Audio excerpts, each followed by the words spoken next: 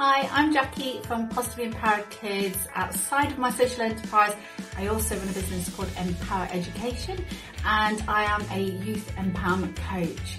Now, I have used What's Your Strengths cards with many children and I'd just like to tell you about one because it was an incredible transformation for this young man who was just 11 years old, so still at primary school. He had ADHD, was very down on himself. His self-worth was so low because academically he could never reach where a lot of young people can reach. So he was quite an angry young man. However, working with him to recognise his strengths, recognise his qualities, realise who he was, really changed that young man.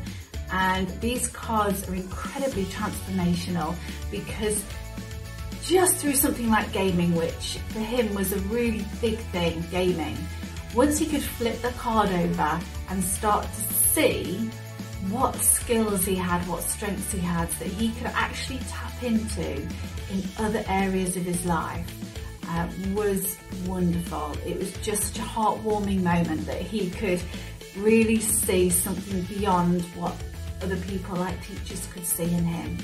Um, we ended up with about 40 strengths and he proudly showed those, wrote them out and showed those to his parent, teacher and other people.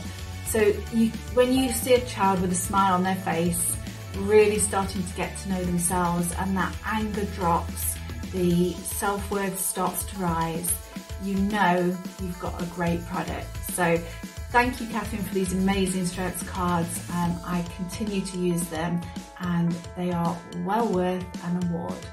Thank you. Bye bye.